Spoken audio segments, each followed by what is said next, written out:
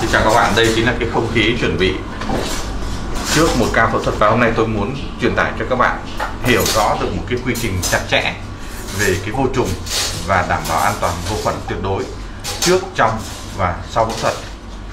Cái quy trình này nó có mấy cái điểm sau đây mà các bạn phải thấy để thấy sự khác biệt rõ so với những người khác.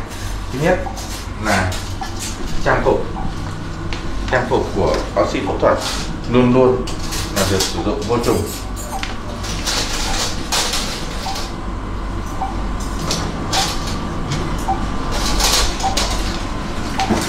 Toàn bộ quần áo cũng như là xăng được phủ lên trên cái phẫu trường đã đều được hấp vô trùng.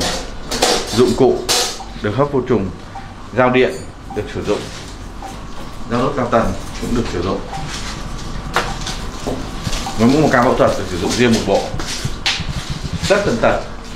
Từ găng vô trùng, từ nón, từ khẩu trang từ trang phục của bác sĩ khi tiếp xúc với ca mổ nên đều phải đảm bảo được hấp sấy và an toàn tuyệt đối.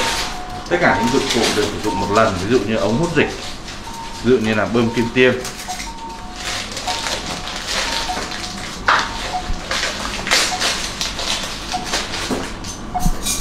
Thì với cái quy trình vô trùng tuyệt đối như vậy sẽ đảm bảo giảm thiểu tỷ lệ thấp nhất cái tỷ lệ viêm nhiễm và nhiễm trùng sau phẫu thuật.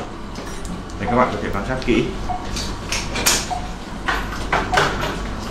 Ở đây chỉ có một nguyên tắc xuyên suốt đó là tất cả những gì được tiếp xúc được đụng chạm với vùng phẫu thuật với dụng cụ phẫu thuật đều được bắt buộc phải vô trùng.